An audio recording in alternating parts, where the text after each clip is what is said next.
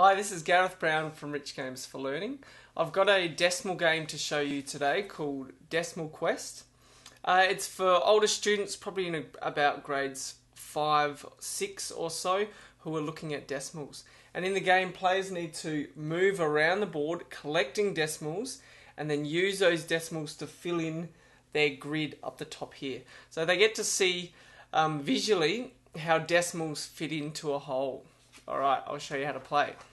Now, with Decimal Quest, the aim of the game is to fill in your whole grid. There, using the decimals that you collect throughout the maze. Each time a player moves, they can move between 1 to 5 spaces. So if blue goes first, they could move 1, 2 spaces, uh, 3 spaces, anywhere up to 1, 2, 3, 4, 5 spaces. Now the decimal that a player lands on, in this case blue has landed on 0.01, which is a very small decimal, they need to write it in their collected decimals space. So blue's just landed on 0.01, they're going to collect 0.01. And red's going to move, they're going to make a bit of a, a smarter decision, I think, and land on a bigger decimal. They can see 0.25 there, so they'll go 1, 2, 3 and land on 0.25 and write it in their collected decimals area.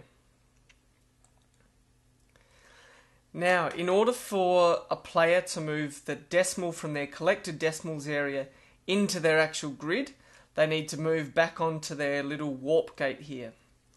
So, blue's going to move back now.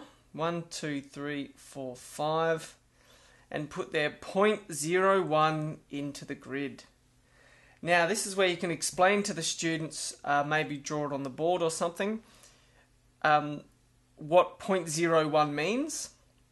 And when they're playing this game, they'll probably have a pretty good idea of how big a decimal is already. So we've got, there are 100 squares on here, it's a 10 by 10 grid, so 0.01 would take up one square.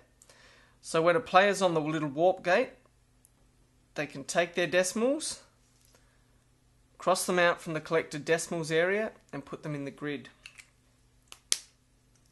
And red's going to do the same. One, two, three.